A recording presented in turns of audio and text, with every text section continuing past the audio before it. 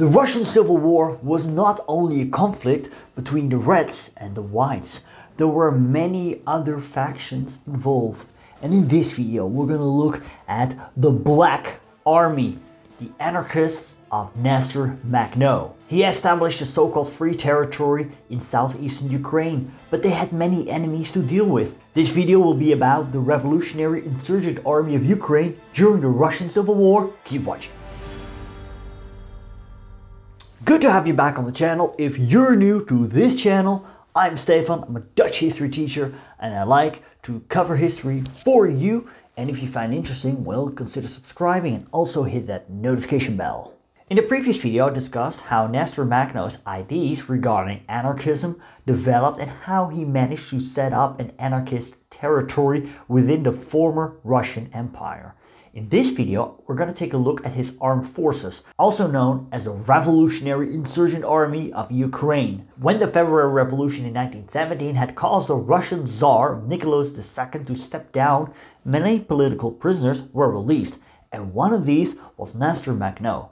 This 27-year-old anarchist went to his hometown in Gulye-Polye, where he rejoined the Gulye-Polye Libertarian Communist Group. Makhno was elected as chairman. He advocated that the estates of the landowners had to be handed to the peasant communes without payment or compensation. In the whole region, communes came into existence. From far and wide, people traveled to Gulye-Polye to meet Makhno in person.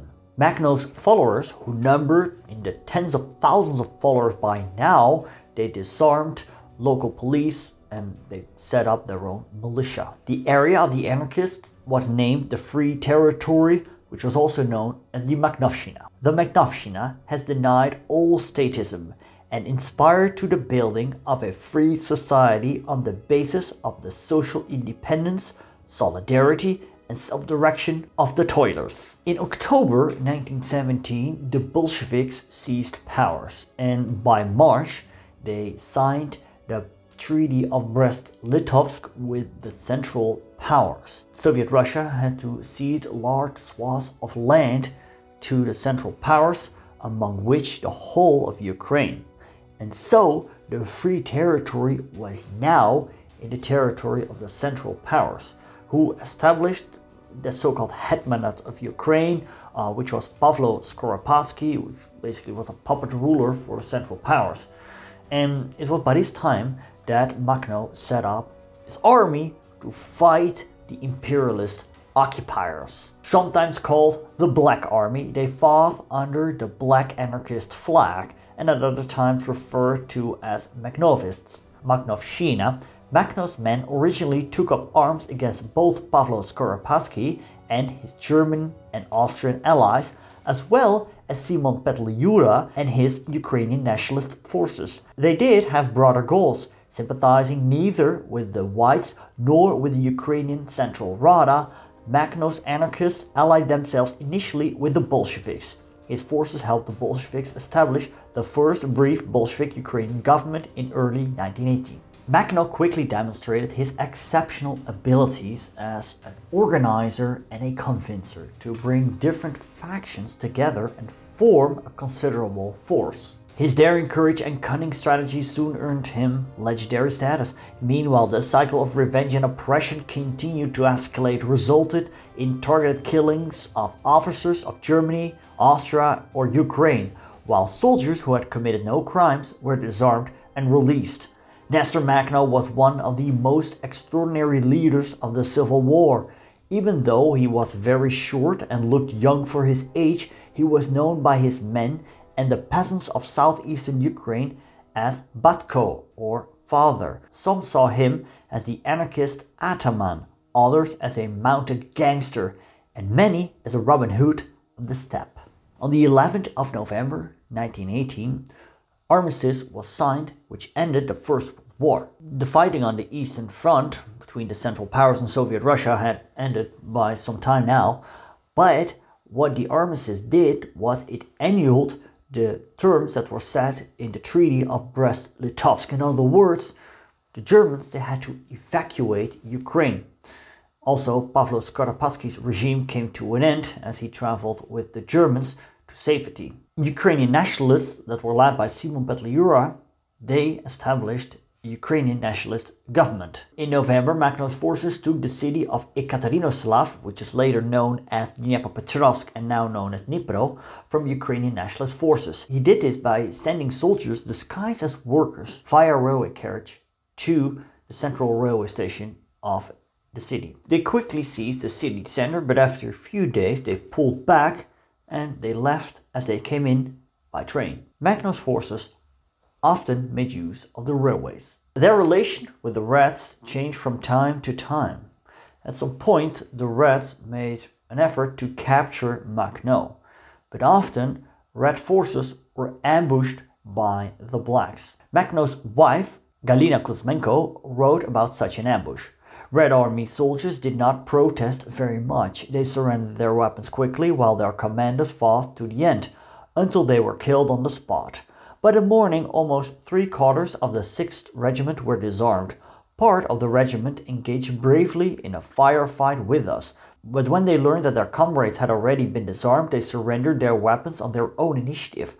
Our lads were very cold and tired, but every one of them was rewarded by the realization that even a small group of people with weak bodies but strong spirit inspired by one great idea, can achieve great deeds. In several hours, 70 to 75 of our lads had captured over 450, 500 of the enemy, killed almost all of their commanders, and taken a lot of rifles, cartridges, machine guns, carts, and horses. Now, not only the Reds were fighting against the Blacks, because the Blacks also fought against the White forces in the Donbass.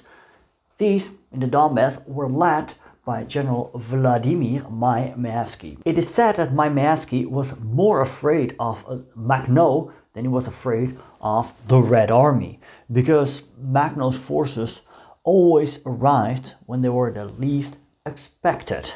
What seemed to have happened is that a battalion of conscripted white forces was sent to Ekaterinoslav and defected to Makhno. Due to the total lack of communication on the side of the whites, Makhno's men managed to take the city again mid-October 1919. Makhno's forces struck all over eastern Ukraine. According to Red Army intelligence, he had 28,000 infantry and cavalry with 50 field guns and 200 machine guns. His forces also took Berdyansk and Mariupol on the north coast of the Sea of Azov. And as the Whites were marching on Moscow, their supply lines became overstretched and came under attack by the blacks. And it is said that due to the efforts of the blacks, the whites never made it to Moscow. In early 1920, the Red Army returned to Ukraine after defeating the White Movement. They attacked the Makhnovshchina, which occupied most of southern Ukraine in an attempt to pacify the region. The Red Army attacked the Makhnovshchina again in November 1920 after a brief truce to ensure the final defeat of the White Movement. This led to a resumption of hostilities. The conflict primarily involved guerrilla warfare with no conventional maneuvers or open battles. Territory regularly changed hands between the two sides, making it highly mobile. The Bolsheviks maintained territorial control, and the Makhnovists were on the defensive. They were not able to carry out offensives, and if they attacked, they mostly attacked isolated red units. The Revolutionary Insurrectionary Army of Ukraine was a powerful force that was feared by many. Its black anarchist flags were a distinctive feature. The army was incredibly fast and often referred to as a flying army. The cavalry unit was particularly adept at moving quickly across the country using their Parthian weapon to ward off many pursuers after a raid. To achieve this, they utilized a Druski open carriage called the Tachanka, which was pulled by a team of three horses and a heavy machine gun mounted on the back. The Tachanka was used much like an ancient chariot, with a driver, rifleman, and machine gunner. Makhno's soldiers were dressed in a mixture of military and civilian clothing, although in true anarchist tradition, uniformity was avoided. Makhno himself preferred a fur papakha hat, red galif breeches, and soft leather cavalry boots. He liked to carry as many weapons as possible, especially a decorative shashka sword and the German K-96 Mauser in its wooden broom handle holster. Without delay, the Red Army betrayed their temporary ally, the Makhnovist insurgent army, and demanded that they give up their weapons and integrate into the Red Fourth Army. Simeon Karetnik, who led their detachment during the invasion of Crimea, was called to Frunze's headquarters, but was apprehended along by his team of Red Army soldiers near Melitopol and put to death. The remaining members of the insurgent army were targeted by both Boudienny's 1st Cavalry Army and the 2nd Cavalry Army. By the summer of 1921, Makhno, his wife, and a dozen of followers were left. They made their way to Romania, as one recalled. Our group reached the Romanian border and we swam our horses across the river Dniester in the area of Kamenka. During the last five to six days, we had ridden only at night, avoiding clashes with the Reds, and we crossed the frontier on the 28th of August 1921. Makhno and his wife would settle in Paris. Makhno took on different jobs to earn enough income. A heavy drinker, he would succumb to tuberculosis in 1934. I read that his wife and daughter were deported during the Second World War to Germany to perform slave labor, then fell in the hands of the Red Army and were put to hard labor as well, and eventually, after Stalin's death, they were reunited. If you have not seen my previous video about Nestor Makhno and his movement, you click right here. And if you want to have an overview of the Russian Civil War, click right here. Thanks for watching and I'll see you later.